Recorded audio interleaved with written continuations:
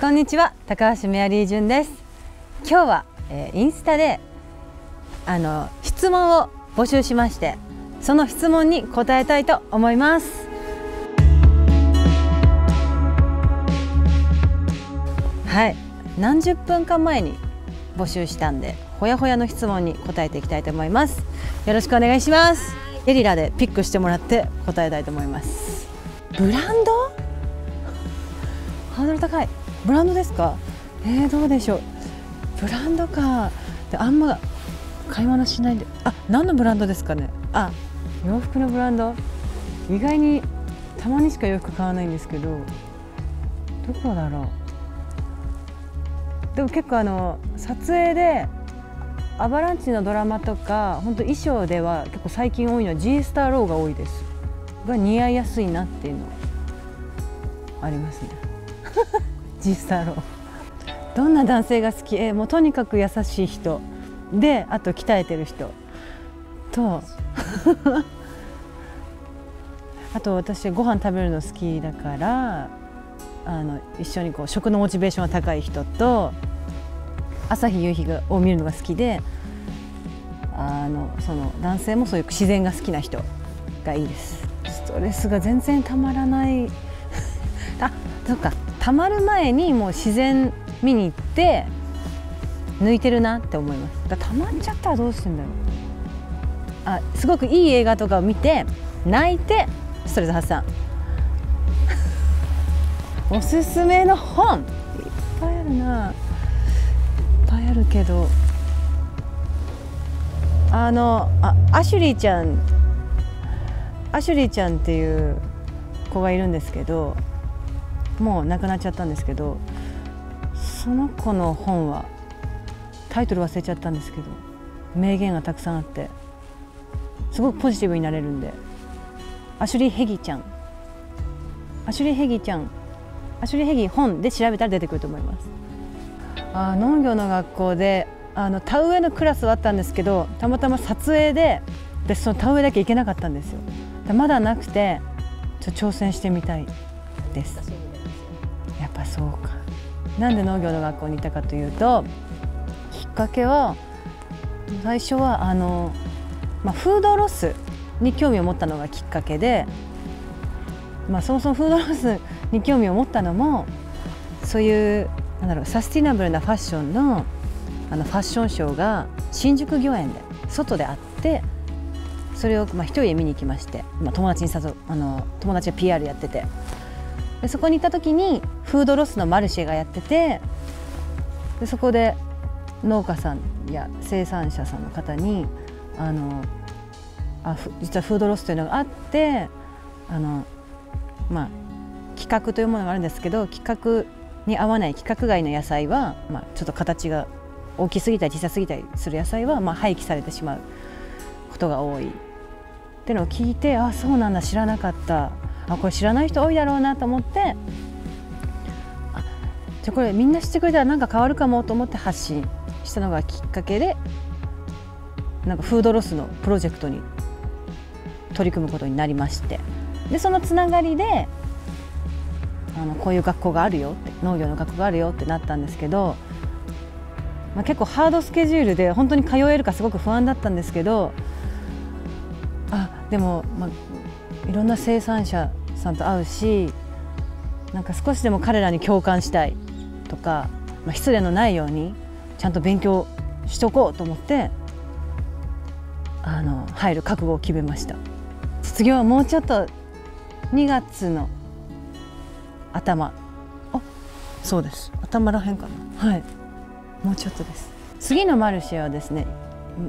えー、3月3月にちょっといちごフェアをやろうと考えていましてこれからどんどん詰めていくんですけどいちごも好きで私もすごい好きだしちょうど時期が3月がすごいいちごのいい時期であの私はそのフードロス削減プロジェクトであのみんなと一緒にこうブース出すんですけどその規格外じゃないいちごもたくさんあってすごいたくさん可愛いいちご美味しいいちごを食べられるフェアやります。親親のおかげです。えー、最近ハマってることは何だろう。でも部屋をきれいにすることと、まあ、その農業の学校とあとすごくこうマニアックなお茶屋さんとコーヒー屋さんに行くこと。コーヒー大好き。なるべくオーガニックの豆を選ぶようにしてて豆腐やりたいことあでも本当に2021年の時に本当にあの農家さんとか素敵な出会いがたくさんあったので農家さんやその、まあ、地球動物人にこう優しい世界をこう目指している人たちと何か一緒にできたらいいなって思います。えー、いっぱいあるな。えー、すっごく美味しいご飯食べてる時と、まあ、大好きな人たちといる時と何も考えずにぼーっと映画や YouTube を見てる時。体重はあまり気にしなくて、まあ、見た目を気にしていてでも本当に昔モデル時代に比べてすごくこう太って全然痩せづらくなってでも今の私のこう価値観では太るイコール悪ではない。健康がやっぱベースで健康あっての美だなって思うんでなんか太ったからダメとはもう思わなくなっちゃって太ってもいいじゃんって。健康健康の方がいいじゃんって思うようになってこうホルモンとかね安定したり。だからそんな気にしなくなっちゃいました。だけどまあ痩せた役とかやんなきゃいけない時はもう頑張って運動したりキックボクシング行ったり食事気をつけたりは一応してます。えー、絶対あるな。めちゃくちゃあるんですけどどれにしよう。つい最近感動したこと。あまだ1個は言えなくて。1個言えなくて、匂わせ。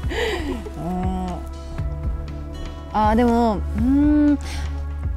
つい最近。でもやっぱり農家の先生のお話あ農家というか私の農業の学校の先生のお話でその先生がなんか例えば野菜がうまく育たなくても絶対野菜のせいにしない天気のせいにしない大体がこう人災だ人のせいだっていうなんだろう何かのせいにしないっていう生き方っていうのはすごくかっこいいなと思ってそれは感動しました。結婚願望はもともとすごくあって25歳ぐらいの時に。でも30歳を超えると一気に薄まってでどんどん年々なんかもちろん家族は持ちたい。自分の居場所は欲しいなって思うんですが結婚という形には別にまだこだわってはないです。絶対しなきゃいけないとかもない。なんか今仕事が忙しいから恋愛しませんっていう感じでもなくできる機会があれば全然恋愛や結婚結婚したかったらするししたくなかったらしないし決めない？今を大切にするにはやっぱ死を意識すること。みんな必ずいつか死ぬっていうのは絶対に決まってることである意味誰でもいつか死ねる。んで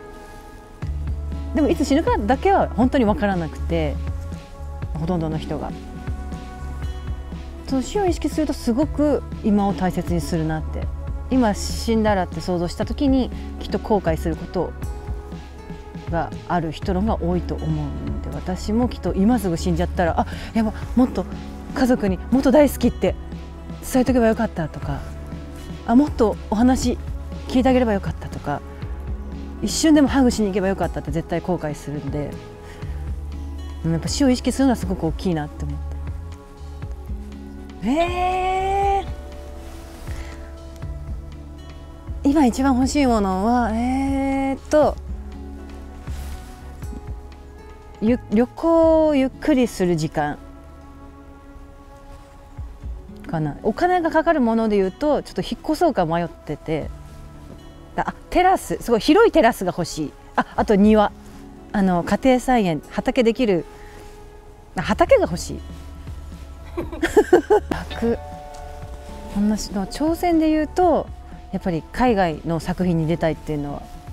あって役は超超超大雑把でとにかくなんか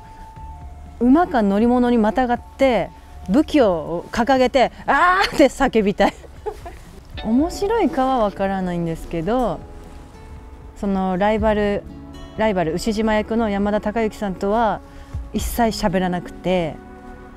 そうあの撮影中は話さなかったんで分かんなかったんですけど舞台挨拶のインタビューの時に知ったのは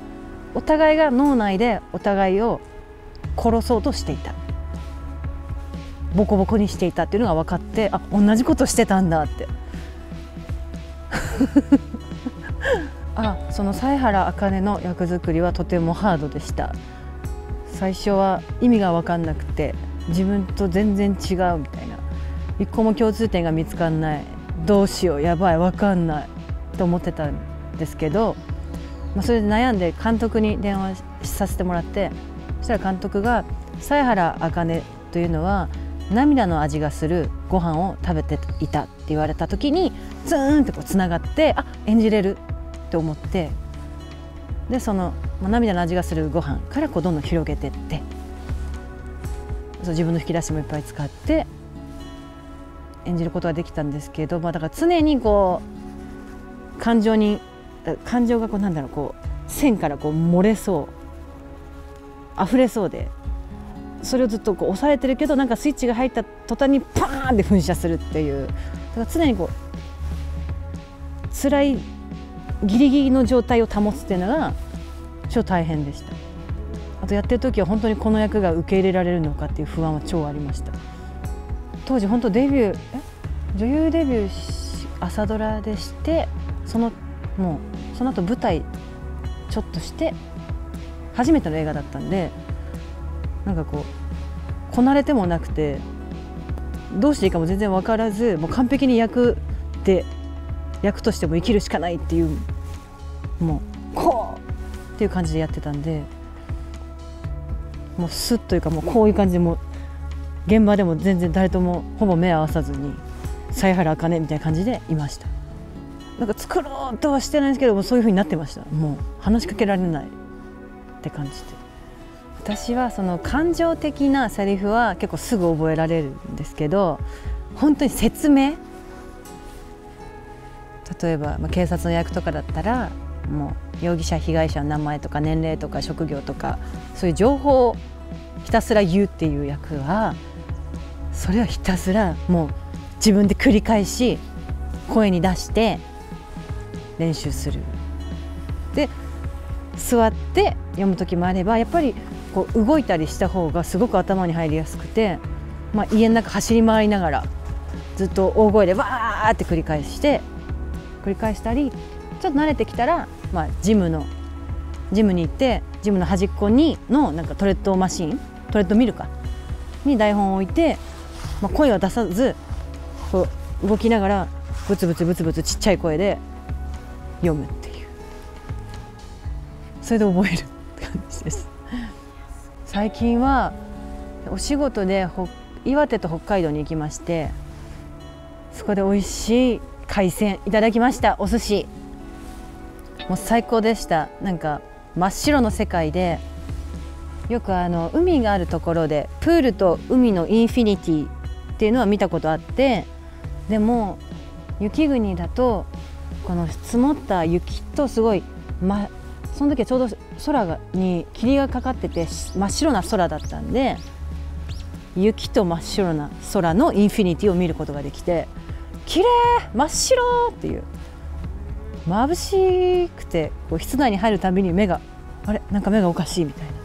な。あまだやれてないんですけどスノボ。えまだやれてないとか14年ぐらいやれてないんですけどスノボやりたい。やっぱアクティビティ大好きで。そういう海行ったらそういう海のアクティビティやりたいしみたいな。雪のとこ行ったらうんスノボやりたいです。ソリは滑ったんですけど。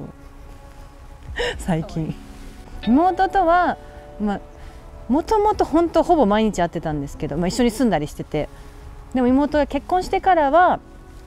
もう週1会えてない。たまに月1になったりとかで。え妹ですか？まあ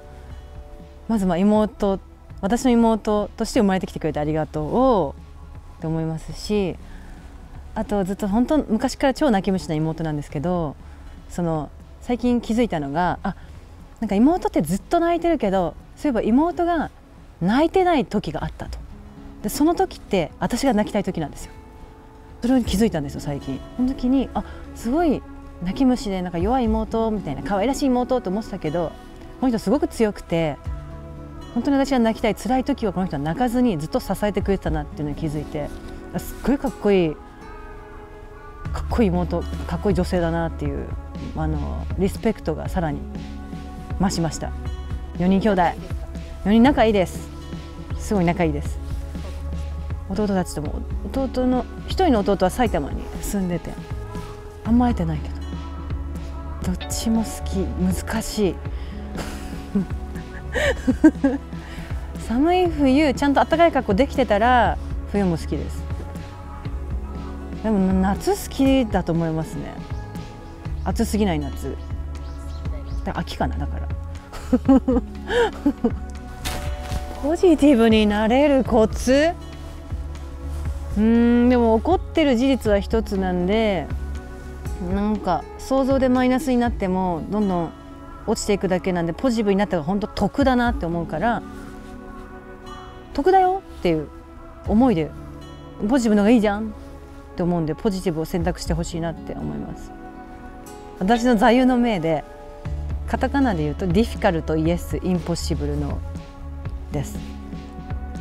と難しいはい不可能いいえっていう言葉に救われたことがあってその昔ちょっと病気したことがあってもう治ったんですけど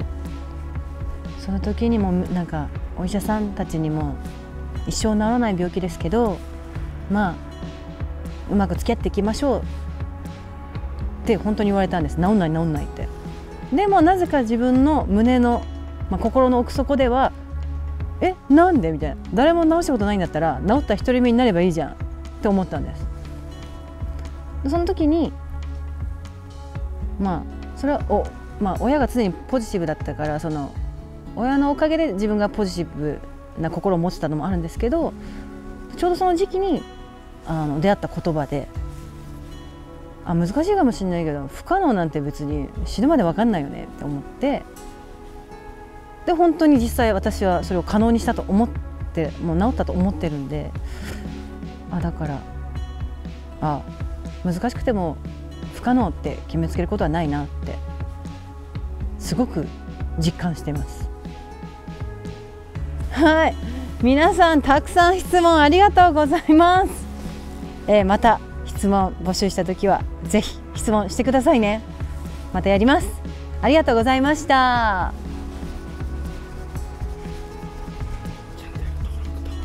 あと あのチャンネル登録といいねボタン押してください。よろしくお願いします。高橋みやりじゅんでした。